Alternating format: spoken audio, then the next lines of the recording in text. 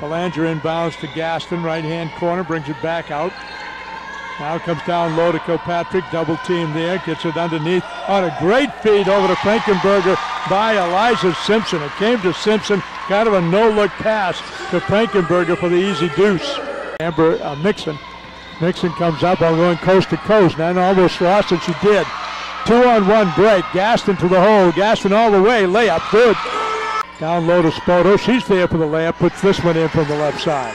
Now Andy Norman gambled on the wrong shoulder. The lob pass was a perfect lead, and Spoto gives New Hampshire 14 points, and all 14 points have been in the paint. Mixon out front to Zabo.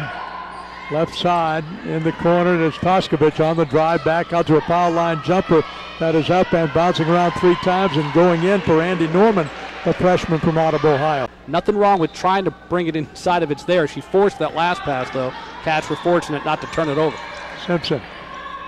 Down low to Kilpatrick. She's baseline, makes a nice move to the hole, gets it out to Gaston from 12 feet.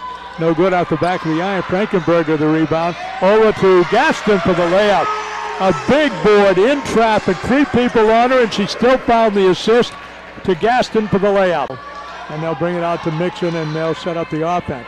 Mixon over to the other side to the right, another three ball by Borachek, and she puts this one in. All right, it is Gaston right of the circle. Out to Belanger. Eight seconds. Elizabeth on the drive. Runner is up. It's good, and it will count. And she is going to go to the stripe for one. Went right at Tia Dawson. Front down low. It comes to Kilpatrick. Double team on her. Got it back over to Simpson. Still time on the clock. 10 seconds on the play clock. Gaston will start it out 30 feet away. Comes to the right of the lane. Tricky dribbles over to uh, Frankenberger. Frankenberger to Kilpatrick. Lays it in with one second on the clock. Back out front. He'll bring it around the circle to the right side. Over to Simpson. Simpson to the circle. Out of Belanger. Baseline right in the corner.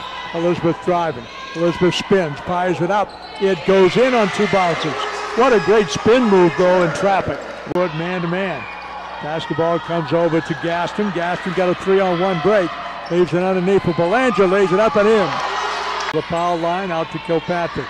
She had Gaston for a moment. Now she gets it to Gaston. Brings it out to eight seconds.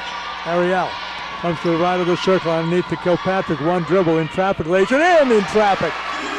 The ball, Gaston down low to Kilpatrick. Brings it back out front. In left-hand corner, ends up in the hands of Gaston. Comes to the hole for the layup.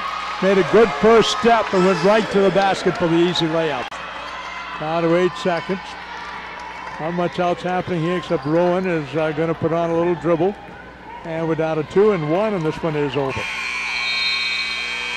So the Wildcats will come up with its sixth win of the season in pretty impressive, impressive fashion.